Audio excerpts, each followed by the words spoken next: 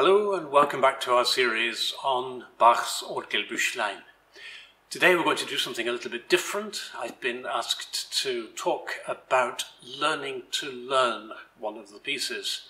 So not so much about the piece itself, so much as about the process of learning it from scratch. And for this purpose, we're going to look today at Vater Unser, uh, which is one of the miscellaneous chorale preludes. Of course, one of the things we need before we start is an edition to play it from. We've talked a little bit in the introductory video about editions. Many editions work absolutely fine. And I suggested again in the introductory video that you steer clear of editions where an editor has gone through and put in fingering and expression marks and phrasing marks, which often don't represent either the way that you might want to play it or the way that we now understand Bach as having played. The fingering will often try to force you into a 19th century romantic interpretation of the music, which isn't necessarily particularly helpful. For the purposes of these films, where I've put up musical examples, I've used the Bach Gesellschaft edition, a 19th century complete works. This was a great piece of scholarship for its time and has a lot of good qualities. It's perhaps not the edition we would choose nowadays as a performing edition, but I'm using it uh, not as a form of recommendation, but because uh, it's copyright free. There's any amount, obviously, to say about articulation and fingering, performance issues in general, and I'm not going to talk about those today because we talk about them so much in the other films. I will only mention that in this particular piece, as in many of the others, all the semiquavers and the pedals can be played with alternate toes very readily, whereas the quavers in the pedals can't always be played easily with alternate toes without very complicated foot crossings, um, and perhaps not even then, which suggests to me, as I've said elsewhere, that Bach is anticipating that the semiquavers will be quite attached to each other, will be will flow, whereas the quavers themselves might be seen almost in terms of separate bows on a cello as almost legato, but not quite, just gently detached. The one general comment that I will make is to listen to Bach recordings. Not recordings of organ music, but recordings of Bach in general. Find some nice orchestral music, choral music, whatever, uh, chamber music, and listen to how the notes work. Listen to how people play on different instruments, to how the phrasing works, how the harmonies work with each other. Get an idea of the ebb and flow in Bach. And that will transfer to the organ and improve your playing no end. So with the music in front of us, where do we start? And the obvious answer is with the chorale. These works are chorale preludes. They're intended to introduce, amongst other things, to introduce the hymn tune to the congregation that's about to sing it. And so they both tell the congregation what the tune is and also gives a bit of extra information, a bit of the feeling of it, a sense of the way that the hymn operates. And these hymn tunes, remember, were completely familiar to people. They're not an abstract, foreign thing that you've not heard before. These are tunes that people heard every week, that they lived with, that they knew from childhood. So the hymn tune itself is very, very important as a part of the piece. In particular, this particular one which we're looking at today, Vater Unser, um, is the musical setting of the Lord's Prayer in its metrical form by Luther. It was sung perhaps more often than most of the chorales, and it has been a common feature of composers through the ages. So many of the great organ composers have made chorale preludes and other works on this particular tune. So going back a bit, Scheidt and Scheidemann both wrote good pieces. Buxtehude wrote two, one of which is particularly familiar. Obviously, I love Bach's music. No other composer, I think, has been so consistently great. But in this particular instance, Vater Unser, I almost would cast my vote in favour of Bach's teacher, Georg Böhm, uh, who wrote the most glorious chorale prelude on this particular tune. I'll play a little bit of it, in fact.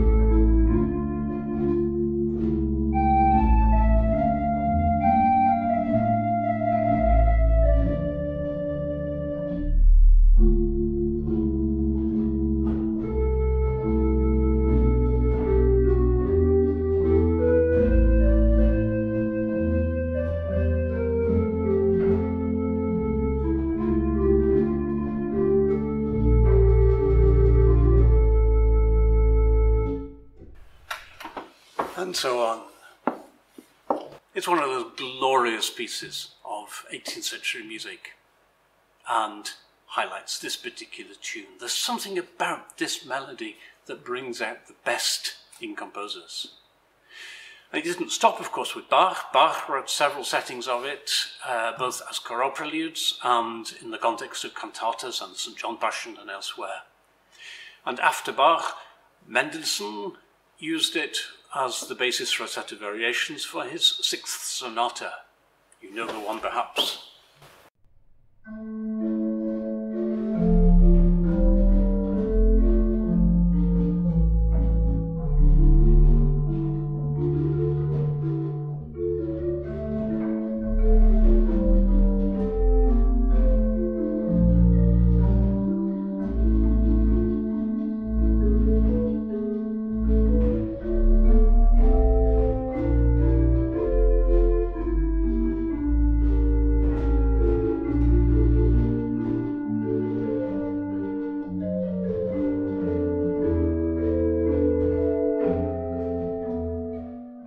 So the one thing you should do before you start to play the piece is to make sure you're familiar with that chorale. Learn it off by heart, play it a few times, um, get a feel for it, because it is the way in which the piece is put together. It's its purpose, its raison d'etre. Which actually brings us to the next question, the way in which the piece is put together. Now just stop there for a second. I can hear you saying it. We want to learn the music. We're not interested in the background. We're not interested in how it works and why we're playing it. We just want to get on with learning the notes. And that is perfectly true. It's perfectly understandable. But there is a, an important point here which I'd like to make. And that is, before you start to learn something, you need to know what it is that you're learning. It's a little bit like if you're setting off to go somewhere. You go out of the door, right? And you jump in the car and you turn the engine on and you set off going. But that's actually not the first thing you do. If you're going somewhere, you check where it is you're going. Perhaps you don't need the car. Perhaps it's only 20 yards down the road and you can walk. And in fact, do you know whether to turn left or turn right out of the door? You need to know where you're going before you set off that actually sounds a bit like a conversation, a literal conversation, which I have with somebody from time to time, but we won't go into that. Another example, if you're going to draw something, you don't take a piece of paper and a pencil and make some lines. You start by looking at the thing you're going to draw. You look at it perhaps from different sides and you try to understand it and you think a little bit about how you're going to represent it on the paper. So, also before we start learning a piece of music, we want to know what it is we're trying to learn. There's no point at all practicing to do something if, it, if we don't have a clear idea in our head of what it is we're trying to achieve. So we do need to know a little bit about how the thing is put together, about how we intend to play it before we start trying to play it. So, how is it put together? This piece is really an archetypal Orgelbüchlein prelude, which is why we're using it for this particular purpose. The chorale is across the top, more or less undecorated. The only decoration there is is that any time that the chorale melody leaps, then uh, Bach has filled in the intermediate notes so that everything is adjoining. The other three parts, it's in four parts throughout, share a figuration, a ta-ta-ta-dum-dum figuration, which are disposed in such a way that some voice or another always is moving in a semiquaver movement.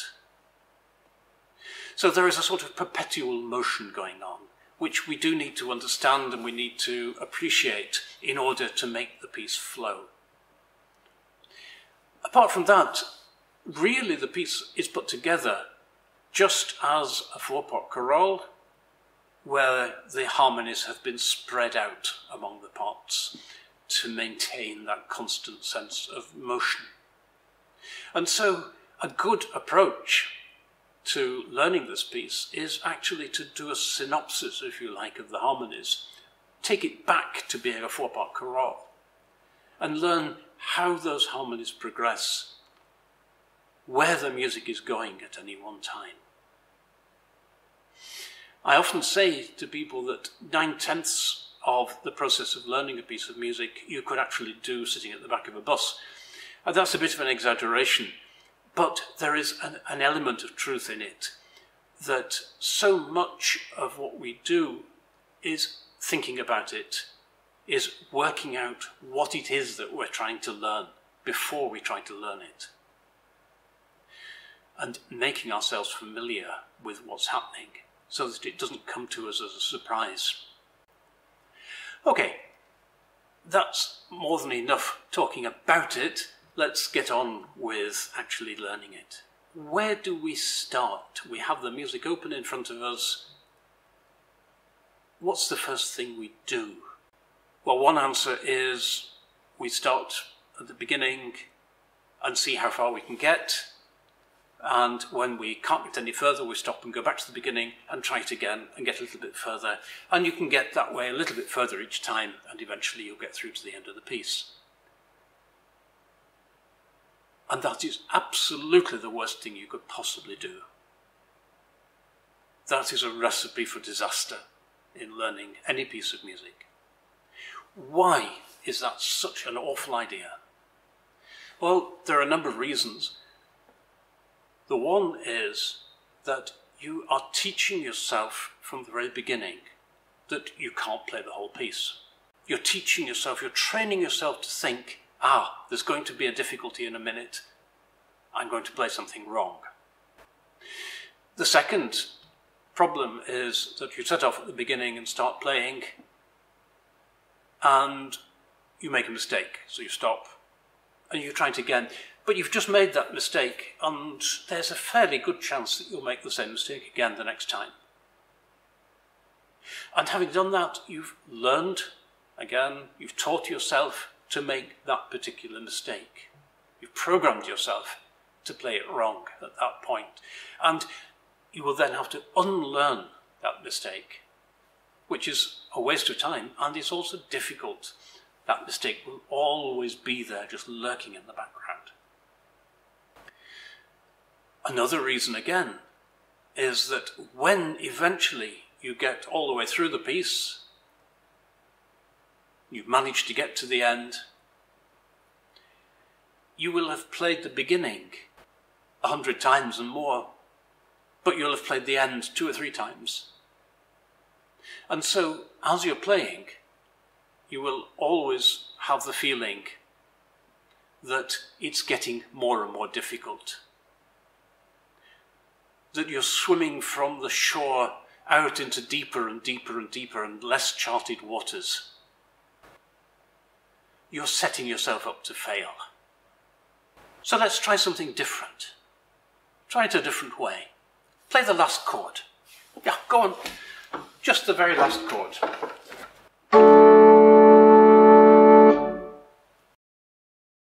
There. Now you've played all the way through to the end without making a mistake. That's a silly thing to say, perhaps, but it's true. You have. Try the pedal part for the last bar.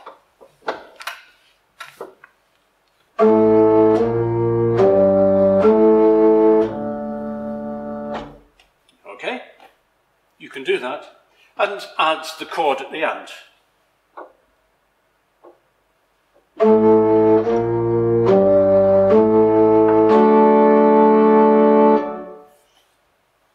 And now you can do that. Try the left hand for the previous beat as well.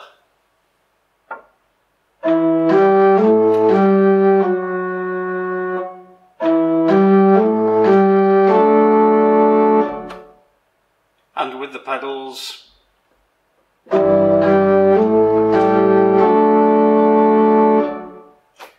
and so on. Work your way back to the previous beat Try it with the right hand on the pedals, perhaps.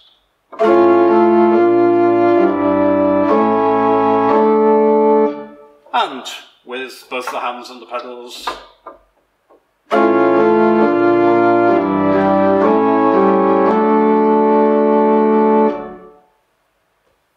Do you know that you've now played one twelfth of the whole piece without a mistake and in a matter of a few seconds.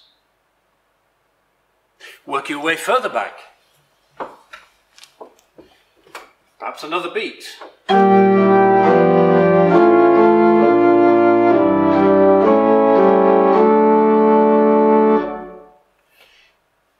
Go back to the beginning of the pedal, the last piece of pedal line.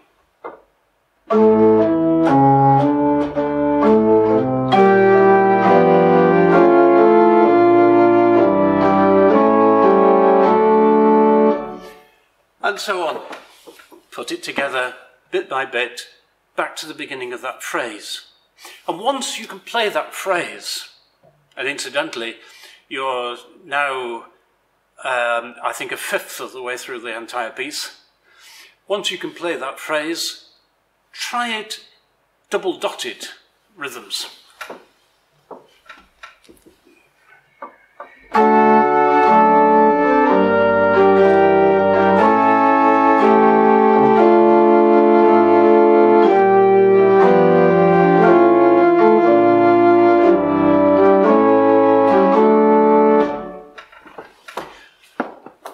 Why play it wrong like that? Why try altering the rhythms?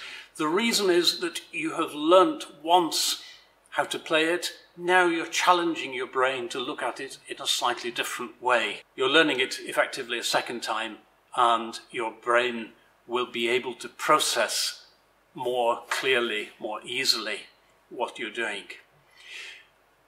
Once you've done it a couple of times with double dotted rhythms. You can try it half speed, staccato, but keep the melody line, the chorale melody, um, legato across the top. So try it in different ways, in different formats.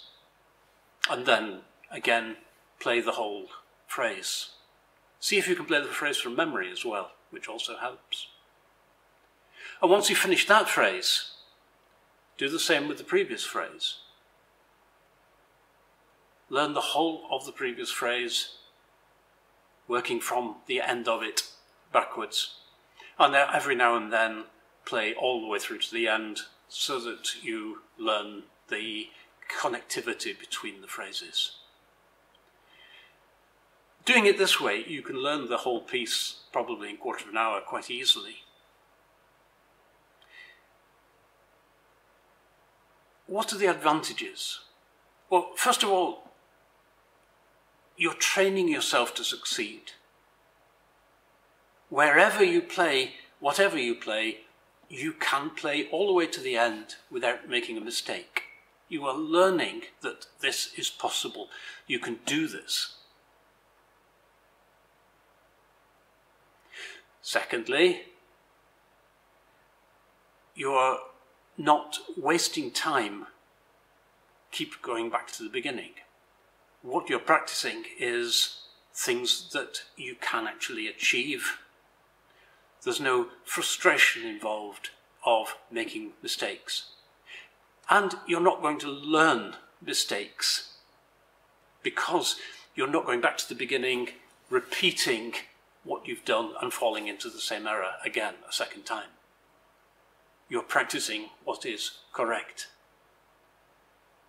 And then again, every time you play a chord, you know where it's going to.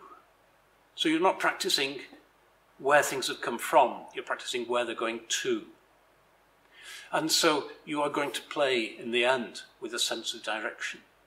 And finally, to go back to that image which we referred to earlier of swimming, doing it this way, you will always feel that you're swimming towards the shore. You're swimming into water which is getting steadily shallower, calmer, and more charted and more familiar. There is safety. So you will play it better and you will learn it a lot quicker if you start practicing from the end. So if there is nothing else that you take from this film today, that is the one thing which I really, really want you to take away. It will transform the way that you play, and it will transform the way that you learn and how effectively you practice. So as you're going back through this piece, phrase by phrase, remember to focus on the chorale melody. We've said how important that is for the piece. It's the whole identity of the piece. Keep the chorale melody in mind. Remember it floating there across the top. And imagine that you were playing it on one of those other instruments that you've listened to. So, two things to take away. The first one is when we're learning something, we can't learn it unless we know what we're trying to learn. So, think about it. Imagine yourself playing the piece without the hindrance of actually having fingers and feet and instruments in the way. Imagine how you want it and then try to achieve that when you're practicing or when you're learning. So always work towards a particular goal that you have worked out in advance. And the second thing is make life easy for yourself. Be kind to yourself. Don't struggle and think, if at first you don't succeed, try and try and try and try again. It's not the way yes, of course, we need to work at it, we need to practice, we need to spend time, but do it constructively. Don't waste time uh, practicing in a way that isn't going to be as helpful. So start from the end, play the last chord, and then work at getting to it bit by bit.